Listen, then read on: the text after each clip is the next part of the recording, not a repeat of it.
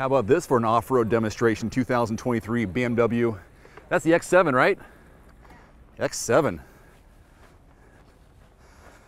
As our driver is letting us know.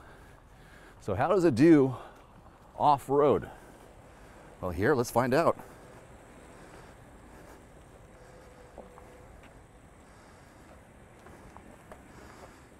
Is that Connie Peters?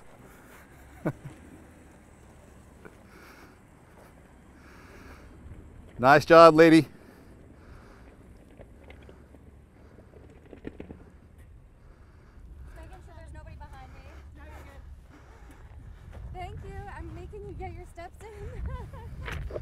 There it is. M60i. Nice job, BMW. Nice job, Connie.